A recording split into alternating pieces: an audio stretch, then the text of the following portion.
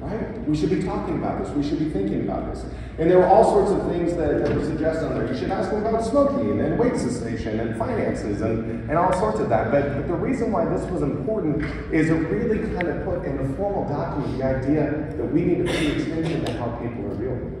It went from something that we should consider to something that we shall do in NFPA uh, 1582 in the 2022 version, where it says, hey, an annual behavioral check-in is now part of this standard uh, wellness uh, fitness. And so they asked for, uh, you know, it's all sorts of things. It's supposed to be non-diagnostic. It's a screener, right? We're not diagnosing people. It has to be confidential. It shouldn't be used to remove people from duty. And it specifies there's three things that we should really focus on. Post-traumatic stress, depression, active suicidality, and substance use. And I'm going to provide some information today that I think is why we need to go beyond those three things as a starter. Okay, so um, so like I said, I got approached by this group. Um, they kind of came in from the army mentality, where like they own you and stuff like that, and they're like, we want to get information for command staff so we can make uh, uh, decisions on where people are, are moving. And I thought, wow, you have it exactly wrong right? Because if there's even any inkling that this information is going to get to the command staff, nobody's ever going to be honest on that right? So the focus really needs to be different.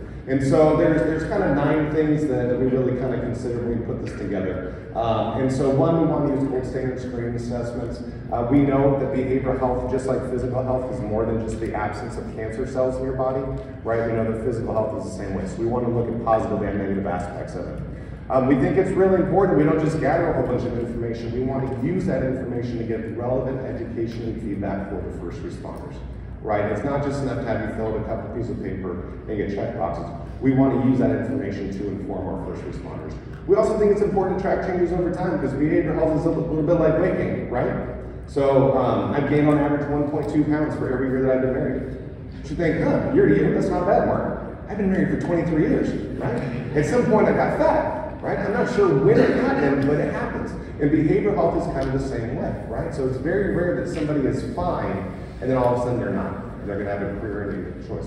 It's a gradual process. We want to be able to track these changes over time so we can identify early and intervene. Uh, the whole goal is to facilitate treatment seeking, and then we have this other part that we think is important, right?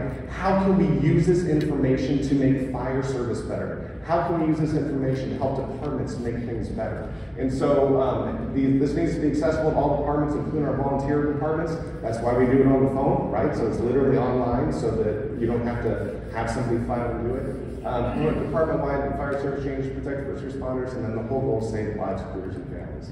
Uh, uh, we're just going to very briefly, we've got eight different surveys. Um, they're brief little surveys.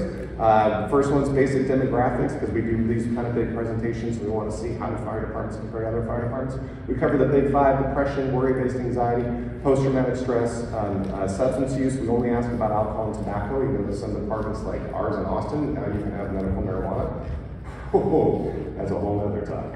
Um, uh, and then sleep. And then we do look at positive psychology factors too, right? Because we want to make sure that we're, that we're addressing the whole person.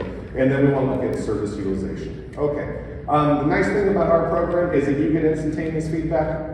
You fill it out, and literally uh, the report shows up on your phone. You can download a PDF, you can print it, take it to your spouse, take it to your, uh, your clinician, um, all sorts of stuff on that. The second level feedback we provide is for the providers, right? Because the whole idea is that you're doing this during your annual physical, so we need to make it easy for the providers to have a conversation with you about behavioral health.